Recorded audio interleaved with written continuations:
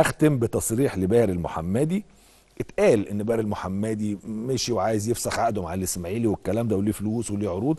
قال يعني أنا عندي أربع عروض في مصر منهم عرضين من ناديين جماهيريين وعرضين من أندية شركات. العروض ما فيهاش الأهلي يعني وبيقولوا إن الأندية الجماهيرية ما فيهاش الأهلي. فمين هيبقى موجود؟ أكيد الزمالك ومع الاتحاد السكندري أو المصري مثلا الزمالك والمصري مثلا.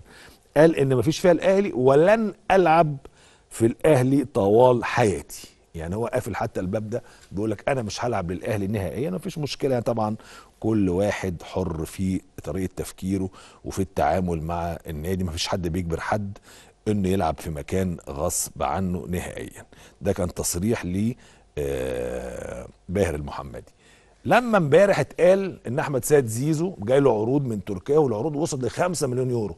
واتقال حتى إيفرتون يعني قال إن في اتصال هاتفي من جه الوالد اللاعب من أحد الناس في إيفرتون يستطلع فكرة إنه ممكن يعني ينضم لإيفرتون في الموسم الجديد. الحقيقة يلا كورة تواصلت مع مسؤول العلاقات العامة في إيفرتون اسمه سكوت ماكليود.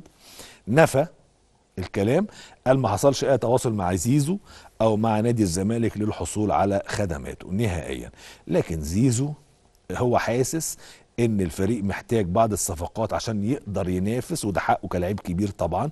مفيش أدنى مشكلة خالص على الإطلاق في هذا الأمر. إنما إحنا زي ما بنقول زيزو زي ما زي ما أنا بتكلم وبعيد كل يوم شايف إن الشناوي ده ما ينفعش يسيب الأهلي وأنا امبارح انفرضنا إن الموضوع اتقفل. قلت لكم مش هيحصل خلاص الموضوع اتقفل نهائيا وإن الشناوي مكمل مع الأهلي وإن علي لطفي بيقترب خلاص من زد. كمان زيزو ما ينفعش يمشي من الزمالك.